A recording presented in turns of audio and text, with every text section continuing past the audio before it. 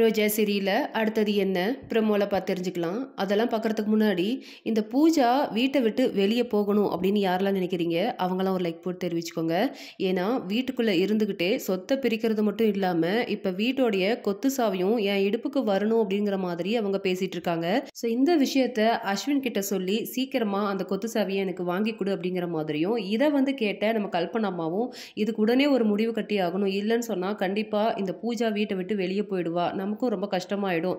சின்ன பொண்ணு தானே அப்படிங்கிற மாதிரி இப்போ அந்த வீட்டு சாவியை நம்ம பூஜா கிட்ட கொடுக்கறதுக்காக எடுத்துட்டு வராங்க. ஆனால் இதை நம்ம பாட்டி தடுக்கிறாங்க. நீ அவசரப்பட்டு நீ முடிவு எடுத்த அப்படின்னு சொன்னால் கண்டிப்பாக இந்த கொத்து சாவி வீ அவள் கைக்கு போனதுக்கப்புறம் அவள் வேற மாதிரி ஆட ஆரம்பிச்சிருவா. அதுக்கப்புறம் நம்ம எல்லாரும் அவகிட்ட தான் கையேந்திட்டு நிற்கணும் அப்படிங்கிற மாதிரி பேசி அந்த சாவியை வாங்கி வச்சு நம்ம ரோஜா கூப்பிட்டு கொடுக்குறாங்க. இது கொஞ்சம் கூட எதிர்பார்க்காத பூஜா ரொம்பவே வந்து வெறித்தனமான கோவம் அவங்களுக்குள்ள இருக்கு.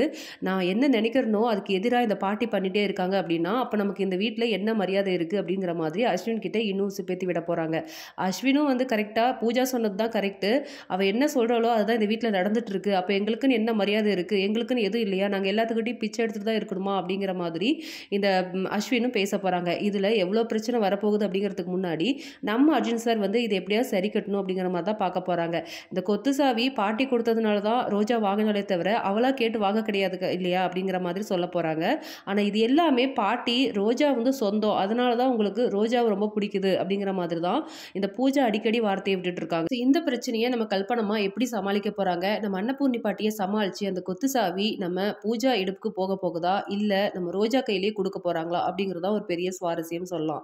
ஸோ இப்படிப்பட்ட பிரச்சனை ஆனதுக்கப்புறம் இவங்க கண்டிப்பாக வீட்டை விட்டு வெளியே போகிறதுக்கு நிறையவே வாய்ப்புகள் இருக்குது இதை தடுக்கிறதுக்கு நம்ம அர்ஜுன் சார் ரோஜாவும் அதுக்கான முயற்சியை செய்ய போகிறாங்க வெளியே போனாங்கன்னு சொன்னால் புருஷோத்தமனை வச்சு இன்னும் அதிகமாக ஜேஎஸ் அனு இவங்கெல்லாம் சேர்ந்து ஒரு பெரிய பிரச்சனை பிரச்சனையே பண்ண போறாங்க. ஸோ அது மட்டும் இல்லாமல் ரோஜாவுக்கு அடுத்தடுத்து ஆபத்துகள் காத்துக்கிட்டே இருக்கு அப்படின்னு கூட சொல்லலாம். ஒரு பக்கம் இந்த அணு எப்படியாவது நம்ம ரோஜா கதையை முடிக்கணும் அப்படிங்கிறதுக்காக தான் அந்த கடல்ல அவங்க தள்ளிவிட்டு ஷா மூலியமா கொல்ல பார்த்தாங்க. ஸோ ரோஜா இருக்கிற வரைக்கும் அர்ஜுன் இப்படி தான் தைரியமா பேசிக்கிட்டு எல்லாத்தையுமே கொண்டுகிட்டு இருப்பான். பேசாம ரோஜா கதையை சீக்கிரமா முடிக்கணும் அப்படிங்கிற மாதிரி ஒரு பக்கம் முடிவெடுக்க போறாங்களா? இல்ல இந்த பூஜாவே களத்துல இறங்கி இந்த ரோஜா அக்கா வீட்டில் இருக்கிற வரைக்கும் எனக்கு மரியாதை கிடைக்காது. எனக்கான பங்கு எதுவுமே கிடைக்க போறது கிடையாதுன்னு சொல்லி இந்த அணு ஜேஎஸ் கும்பலோட சேர்ந்து ரோஜாவை இவங்களும் சேர்ந்து கொள்ளறதுக்கான ட்ரை பண்ண போறாங்களா?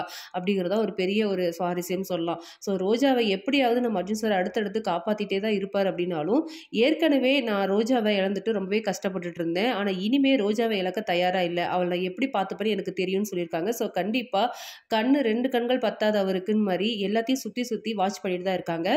நம்ம ரோஜா நிலைமைக்கு காரணமானீங்களா ஸ்கெட்ச் போட்டு ஸோ அவங்களுக்கு அவங்களே அடிதடிப்பட்டுக்கிட்டு அவங்களே சாவர மாதிரியான ஒரு சூப்பரான ஏற்பாடு தான் பண்ணியிருக்காரு. அவருக்கு எந்த ஆதாரமும் யாருக்கும் கிடைக்கக்கூடாது. இவர் பண்ணுற விஷயம் அப்படிங்கிற மாதிரியும் நம்ம ஜெஸிக்கு கூட தெரியக்கூடாது அப்படிங்கிற மாதிரி தான் இந்த பிளான் பண்ணியிருக்காங்க.